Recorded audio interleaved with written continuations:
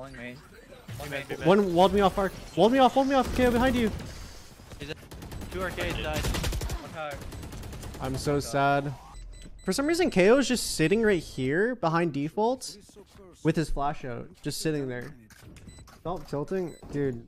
I don't know if it's because we have started up scrims again, but I swear it's like I'm just used to playing with teammates. Like like the way people make decisions, they just go through the rounds and they're like it's like they're programmed a certain way and they'll just do the same thing over and over and it makes no sense what they're doing. Like they'll just do like they'll do like a set routine. It's literally like a fucking like NPC activity. I don't know how to explain it. They they don't like it's like they don't think, they just like do a routine. I am I think I'd rather clean up than do ranked right now. If that says anything, I'd rather do the dishes right now.